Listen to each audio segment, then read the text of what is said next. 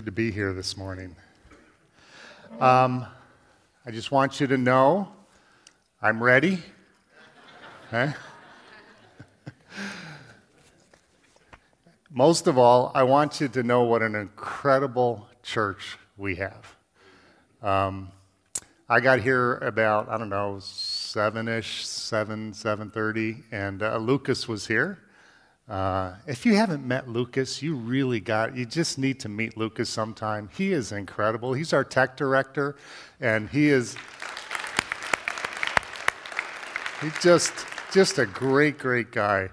And he was here sitting, drinking a cup of coffee and, and waiting to see what was going to happen at 8 o'clock. Uh, some more volunteers and staff had rolled in, and we sat and we had a short meeting. And we said, What are we going to do?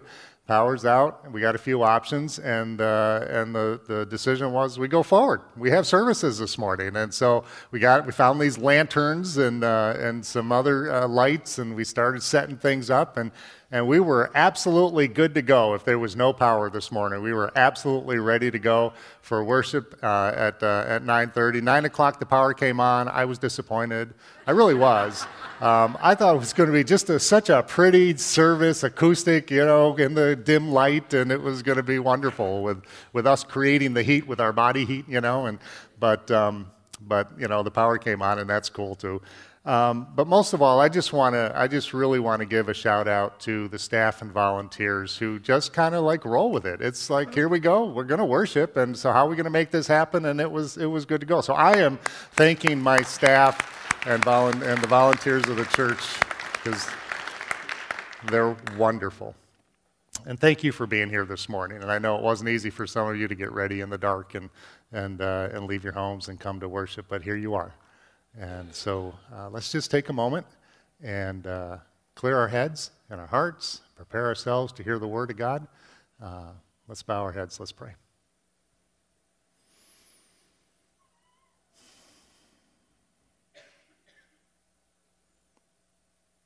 Father God, we appreciate power. We appreciate the lights and the heat and, and the hot coffee and, and all of that. Um, we thank you for it, and we thank you for turning it all on for us this morning. Um, but we thank you most of all that you are the source of the real power that we need. You are the source of, of uh, the joy and the strength and the commitment and, um, and the motivation and desire Lord, to worship you whether we have electric lights or not. Um, you have placed your spirit in our hearts, and you have given us uh, this passion to love you and to love others and to gather together on a morning like this and to praise you and worship you. Thank you, Lord, for that. Thank you for empowering us in this way and continue to pour your power into us um, that we might be everything that you've called us to be uh, receive our worship this morning uh, and the praise we offer in Jesus' name. Amen. All right. We are in a series we started last week. Pastor John kicked us off in great fashion. Uh, we're calling it Long Story Short. We're looking at some characters from the Old Testament. Last week, Pastor John talked about Cain and Abel. And this week, we're going to talk about Noah. And the message is called Building a Life Boat. Um, yeah, it's a play on the boat and the ark and all of that, but really the focus is going to be on building a life. That's what I want to talk about today. How do we build a life? In particular, how do we build a life of faith because that's what Noah was known for. Noah was uh, in the Hall of Fame of Faith, which is in Hebrews 11. If you haven't read it recently, I'd encourage you to, to go ahead and read it sometime. It's a great chapter of people who um, are kind of on the, you know, on the, and, and, and I always want to say Rich Stadium. I did it last night too, and I still can't think of what the bill, this, what's the name of the stadium the Bills play at?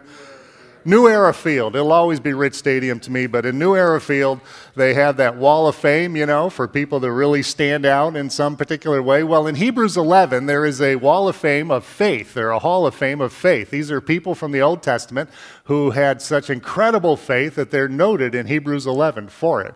Um, they are the, if you will, I'm trying to be cool and hip and modern, they are the goats of faith. Who knows what I mean by goats, right? The greatest of all time. That's right. These are the goats of faith, and Noah was one of them. In Hebrews 11, verse 7, it says, By faith, Noah, when warned about things not yet seen, in holy fear built an ark to save his family. By his faith, he condemned the world and became heir of the righteousness that is in keeping with faith. Noah had a holy fear, it says, and that, that refers to his reverence for God. Uh, not, not a fear that made him um, necessarily cower, you know, like God is going to strike me with lightning or any of that kind of stuff, but it was a holy reverence for who God was. He just had a deep appreciation for the power of God, and, and that caused him to live his life in faith.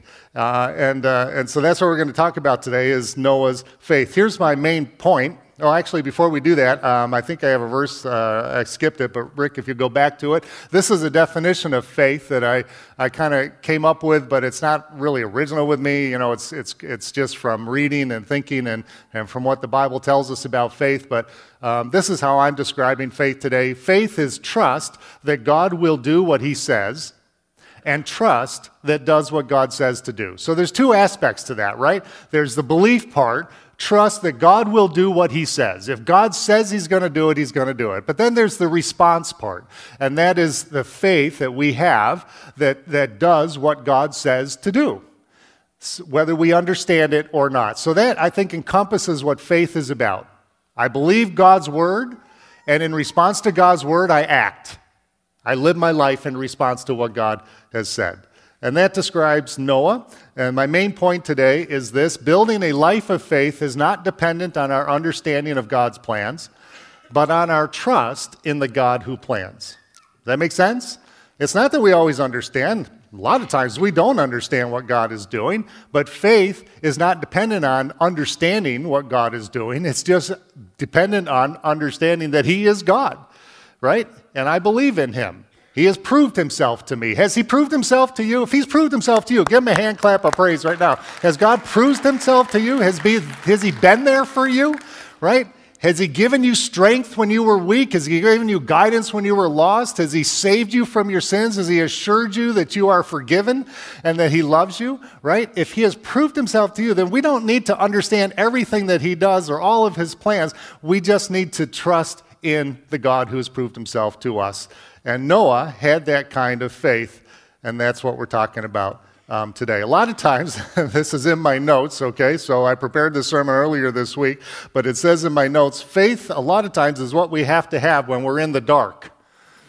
Would have been appropriate if the lights had, had stayed off, and I could have told you that, but, but it's true, right? Faith is what we have to have a lot of times when we're in the dark right that's when we're called on for our faith so so we say things like i don't know why this is happening but I will trust God. I don't know how this is going to go, but I will trust God.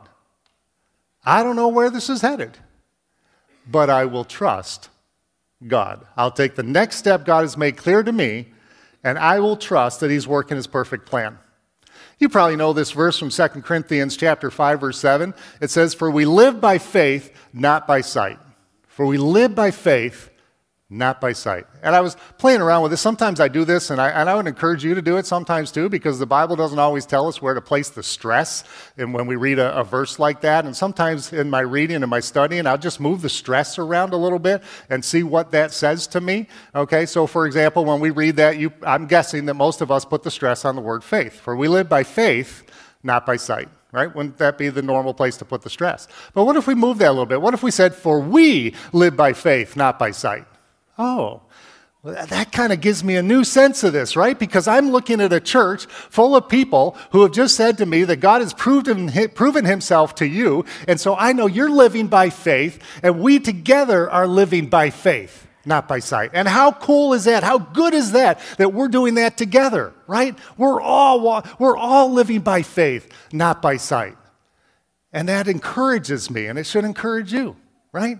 I mean, the fact that you're here this morning is an incredible encouragement. I, I have thought we'd be, you know, having about, you know, 10 people in these rows here, and, and that would be, it. but here you are. Why? Because you trust and worship God, and you came.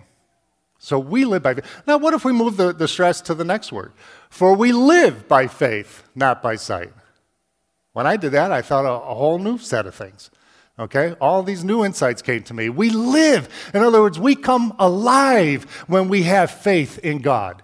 Suddenly, the things that would, would rob us of life, that would steal the joy of life, that would take us out of, out of really living and, and experiencing life to the full, they, they start to wash away. They start to disappear in the faith right? Because we live by faith. We come alive by faith. This is what Jesus was saying. He said, You want abundant life? Find it in me. You want to really live? He says, Trust me. And then these things that are holding you back, right? That are causing you doubt and fear and, and, and, and disrupting your life, they start to disappear. You will come alive when you live by faith.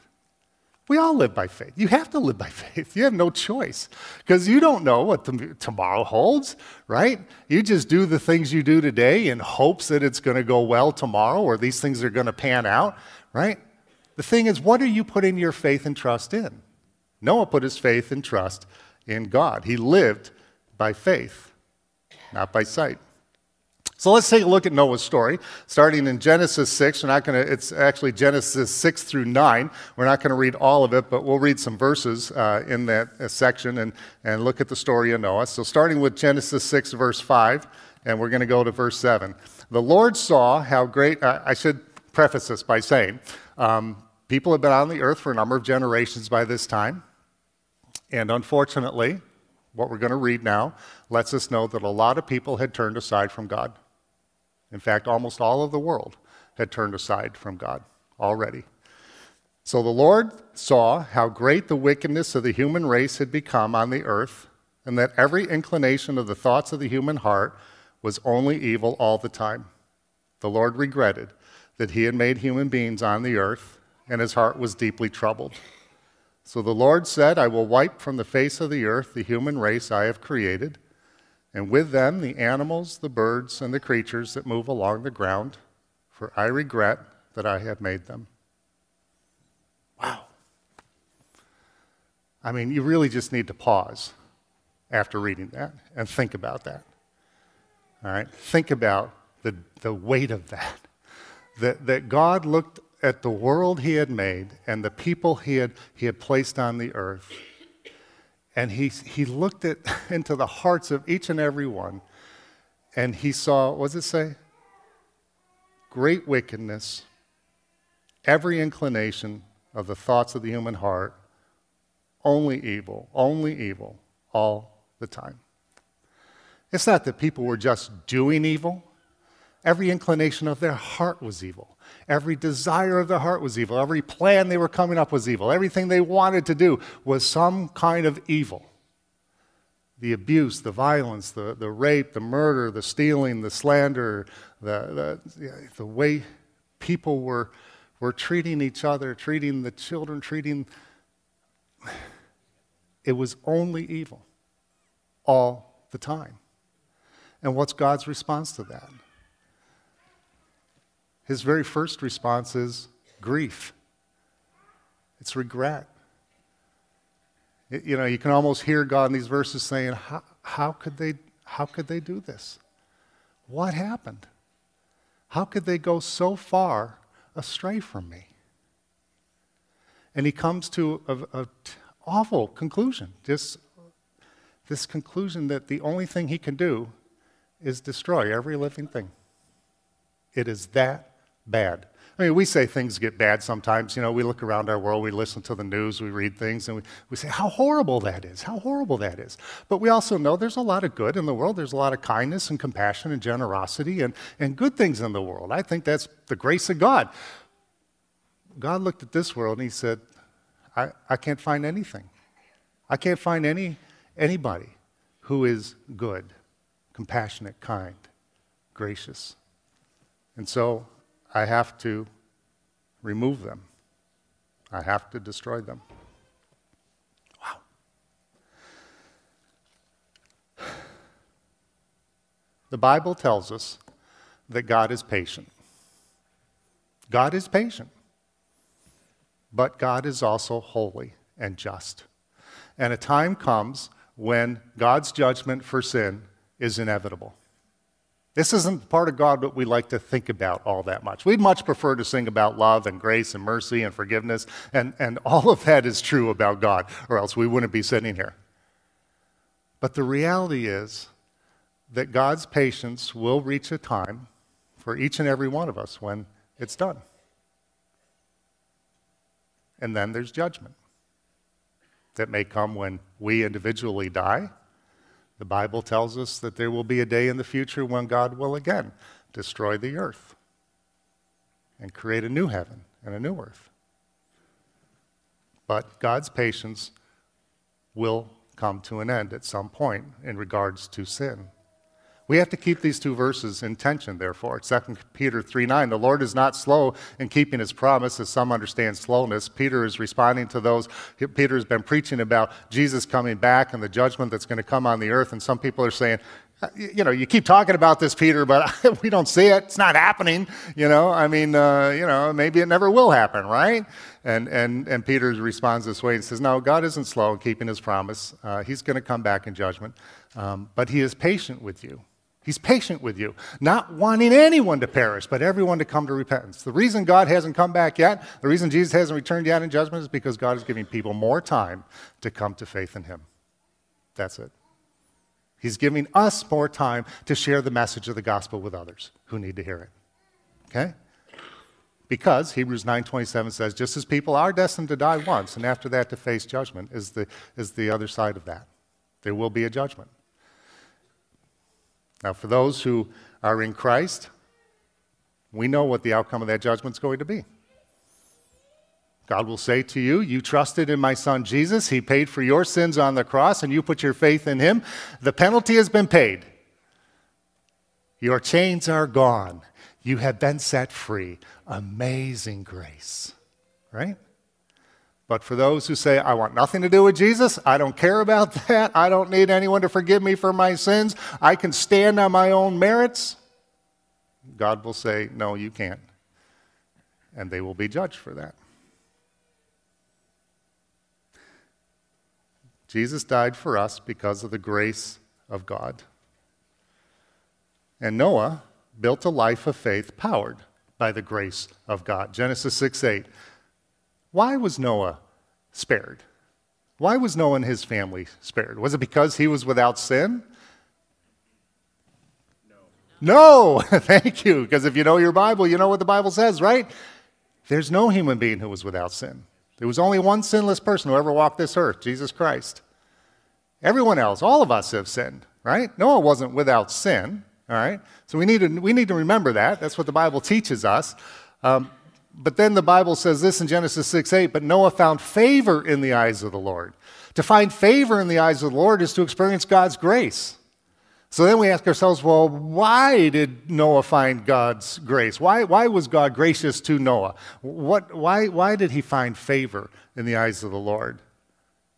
Well, Genesis goes on to say Noah was a righteous man, blameless among the people of his time. So he wasn't sinless, he wasn't perfect, but he was righteous. And I've said before, the, the definition of righteousness is to have a heart that seeks after God. Okay, to really, what my mother said this the other day. I, I was talking with her, and, and she was talking about um, various things related to this. She said, You know, Jesus doesn't love us because we're perfect, but because we want to be. And I thought, that's, I can go with that. I can work with that. Yeah, I want to be perfectly righteous. I want to be perfectly holy. I'm not, but I want to be. And I'm trusting Jesus to make me perfectly righteous and perfectly holy. And I know through Jesus, God sees me as perfectly righteous and holy. He sees me as what I'm becoming, right? That's what it means to be righteous. It's to seek after God's heart, to want to please Him, to want to be perfect in all of our ways. That's righteousness. It's not to be sinless. It says that Noah was blameless among the people of his time. From what we understand of the people of his time, it didn't take a whole lot to be blameless compared to the people of his time, but Noah was blameless among the people of his time. But then it says this one other thing. It says in that verse, in Genesis 6, 8, uh, 6 9, excuse me, he walked faithfully with God. And there it is again, his faith. He walked faithfully with God. I, I was thinking about um, when my grandson was two and a half, three years old, we'd go out for walks, you know, and, and, and we'd be walking down, I can picture we'd be walking down the sidewalk and, and I'd be talking, you know, and then all of a sudden I realized, he's, wait a minute, where are you, right? Well, he's back here, right? Because there's an ant walking around on the ground, and he had to stop and converse with the ant for a while, right? And, and then he, come on, Ephraim, let's go. And then he, okay, and then we walk along, and then, uh, wait, wait a minute, Ephraim, you know, come, let's keep walking, right? And, and, and, you know, I don't know if we could say he was walking faithfully with me or not, you know, but I was trying to walk faithfully with him. But, but here's the thing we're like that, aren't we? We start out on a journey with God. We start walking with God. Yeah, this is good. I love the praise songs and I'm singing and it's good and I feel good. And, and then what happens? We get tempted. Some sin tempts us, right? Or something distracts us. And all of a sudden we're stopping. We're on here and we're, we're, we're doing this and, and God is down here. And God, what does He do? He says to us, Come on, come on, keep walking with me. Just keep walking with me. Let's go. Let's go this direction. Walk faithfully with me. And we're seeking to do that. That's what Noah did. He walked faithfully with God. Not perfectly, but faithfully. Even in his sin, he looked to God for God's love and mercy and grace. That's walking faithfully with God. This is why God was gracious to Noah. Noah built his life of faith on a couple of principles I want to share with you. Here's one build for the future that you can't see, but that you trust God for. Genesis 6:17. God says, I'm going to bring floodwaters on the earth to destroy all life under the heavens. Every creature that has the breath of life in it, everything on earth will perish. In chapter 7, God says, I'm going to bring rain on the earth. Do you know that Noah would have no idea what rain was? He would have no clue because it had never rained on the earth up to that point. All right? Scholars believe that, that at that point the earth was watered by this, these underground streams that would send up a mist, and that was what created the, the water to allow things to grow. But no rain had come down. So, so when God says to Noah, I'm going to bring a flood on the earth, Noah's probably thinking, How's that going to, how does that happen? i I've never seen a flood. What is a flood exactly? And what is rain? He didn't know, but he trusted God for the future that he couldn't see, but that God proclaimed to him. And that's what Hebrews 11:1 tells us faith is. Faith is confidence in what we hope for and assurance about what we do not see. Because where's our assurance? It's not in us, it's in God. If God said it, how does that go? God said it, I believe it, that's good enough for me. Right?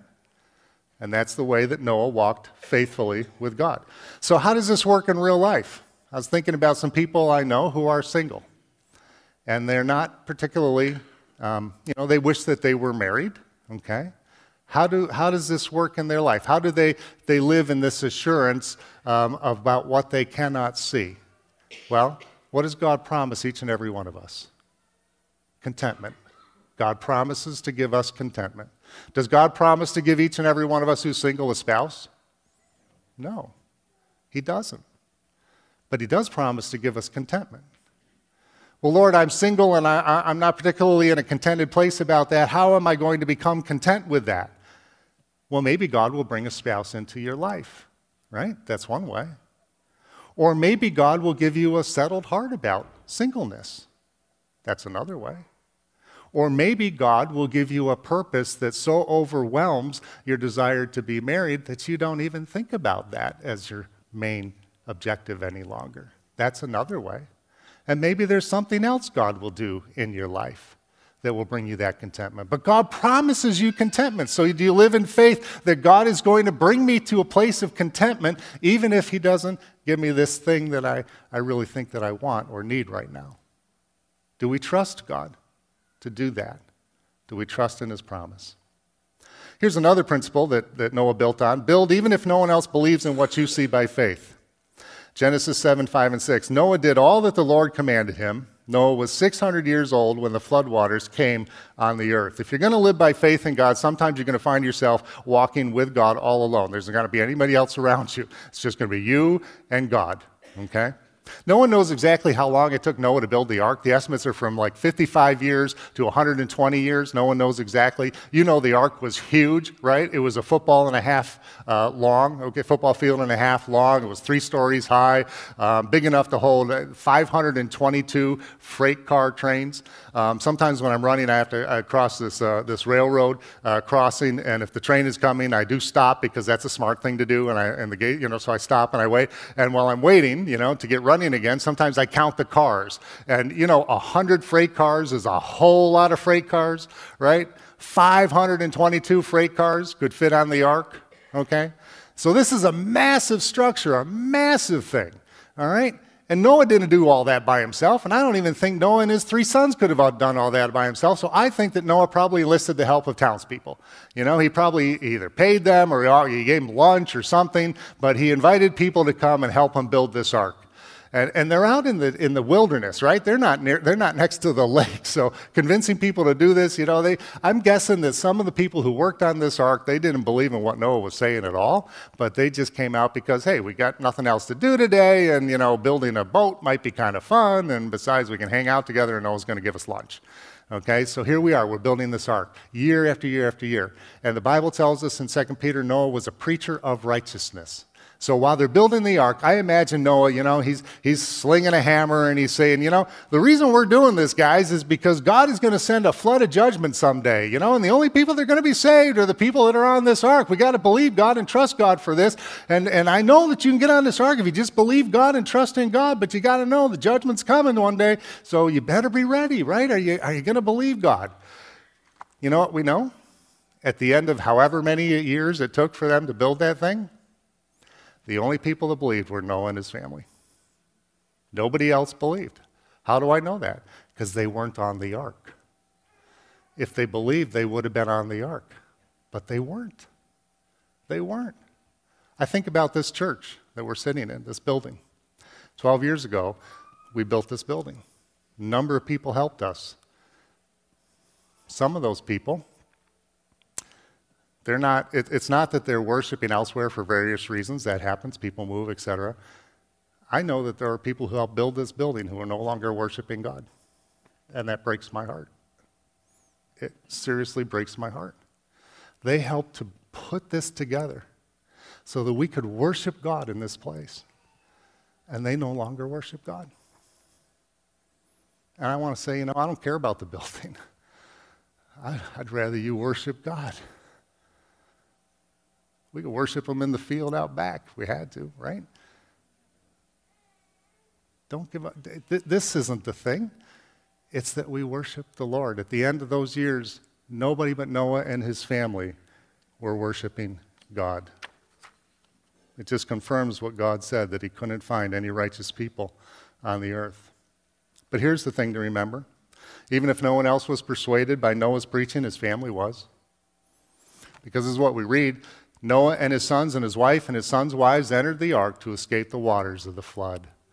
And I believe the only reason that they could get on the ark was because they put their trust and faith in God too. They may not have believed at first when, when you know, dad says, okay, guys, God has spoken to me. And he's told me that we got to build this big structure uh, because there's a flood coming. It's going to cover the whole earth. And the only way we're going to be saved is if we are on that structure, on that ark. So you got to help me build this thing. It's going to take us a long time and a lot of work, but that's what we got to do.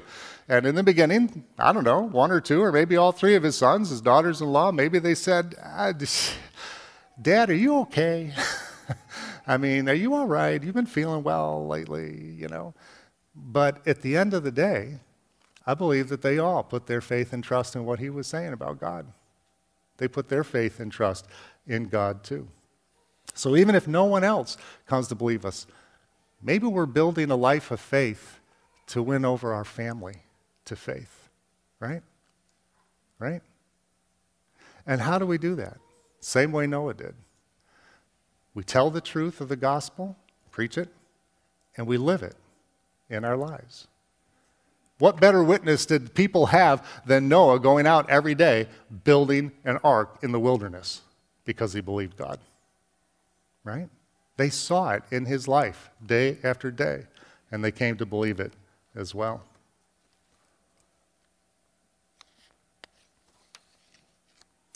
They got on the ark, and this is, I think, a very cool picture. Genesis 7:16 says, God shut the door. God shut the door. Isn't that neat? God sealed them in. To me, that's another picture of God's grace, right? That God said, I am going to protect you, I'm going to take care of you, and here's a sign of that. I'm going to seal this door of the vessel that is your salvation. I am closing you in. If you have God's protection, you are in a very good place. What could Noah and his family do? Surrender themselves completely to the Lord. You know what an ark is? It's not really a boat, it's a box. That's really what an ark is. It's just a big box. There's no rudder, there's no way to steer it, there's no way to make it go where you want it to go. So all Noah and his family could do was be sealed into this by God and then trust God to float it around where he wanted to float it around and land it where he wanted to land it and take care of them all the time that they were on it. Complete surrender of their lives to God. Why did Noah surrender his life to God and his family in that way? Because of faith. Because they trusted God. He's the God who had never let them down. He had made his promises come true, come to fruition, and they believed him. And so they surrendered their life to him. My mom collects frogs, not the live kind, okay? But she collects little frogs, you know, and, uh, and has a whole bunch of them uh, around her living room. You know why she collects frogs? Because she loves what FROG stands for. Do you know what FROG stands for? Fully rely on God. And when she sees her frogs, that's what she thinks of. Frog. Fully rely on God. That's what Noah and his family were doing. And the good news is that they had put their faith in a powerful, protective, promise keeping God. God sent the floodwaters. The earth was inundated. Everyone else did lose their lives. God protected them for over a year on the ark until he rested it on Mount Ararat, opened the door, and let them out. The first thing Noah did when he got out of the ark was he made an offering to God on an altar. And I think he made the offering for these three reasons. He was serving up worship to the God who was powerful and protective and promise keeping powerful enough to bring a flood that would destroy everything. Protective in the way that he oversaw Noah and his family and brought them safely out of that ark. And promise keeping because God did exactly what God said he was going to do all the way through. And then God makes another promise Genesis 9. And God said, This is the sign of the covenant I'm making between me and you and every living creature with you, a covenant for all generations to come. God is saying, I'm never going to bring another flood to destroy the earth. And here's the sign of my promise I've set my rainbow in the clouds, and it will be the sign of the covenant between me and the earth. Whenever I bring clouds over the earth and the rainbow appears in the clouds, I will remember my covenant between me and you and all living creatures of every kind. Never again will the waters become a flood to destroy all life. Whenever the rainbow appears in the clouds, I will see it and remember the everlasting covenant between God and all living creatures of every kind on the earth.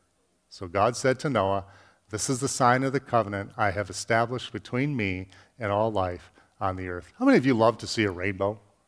How many of you, love, you know, you just you stop the car, right? Right? And, and take a picture or just look at it for a little while, right? That's beautiful. It is a sign that God has given us to remind us He will never again flood the earth like this. And on a day like this, aren't you glad for that? Aren't you glad we don't live in terror every time it begins to rain? Like, oh no, is it happening again? No, no fear. Because God said He would never flood the earth like that again. And the rainbow is the sign of His promise. He is a gracious God. Now, remember though, God has said that He is going to bring judgment on the whole earth again. Not by flood, but by fire. And Jesus says when that day comes, a lot of people are going to be living just like they were in Noah's day. In other words, apart from God, just living their lives as if God doesn't matter and He's irrelevant. But it is going to come. And the thing we need to ask ourselves is are we ready for that? You know, there was only one ark. There was only one way to be saved in that flood, and that was to get on the one ark. And the New Testament says that Jesus, that ark, is a picture of Jesus. And the only way we can be saved from judgment today is to get on board with Jesus. He's the only way. We can't find another way, our own way. He is the way to be saved from judgment. And He will save all who come to Him because He is a God of grace. And as a God of grace, He not only saves us, but He also empowers us to live the life of faith. See, He gives us faith by grace, and then He empowers us to live our faith by His grace. This is a quote uh, that I took from a devotional I was reading this week, Paul David Tripp. I'm going to go slow because someone last night said they really liked this, but it went too quickly, so I'm going to read it slower. God gives us the power to first believe, but He doesn't stop there. By grace, He works in the situations, locations, and relationships of our everyday lives to craft, hammer, bend, and mold us into people who build life based on the radical belief that He really does exist and He really does reward those who seek Him. He is transforming you into a person who lives a life shaped by radical, God centered faith. That's a gracious God. That's a good God. That's a God who loves us and invites all of us into the relationship with Him through Jesus. And if you don't have that relationship, please speak to one of us after the service today. Or just take a moment when we go to prayer in a second and bow your head and, and ask God to forgive you for your sins because of what his son Jesus has done and to pour his Holy Spirit into you.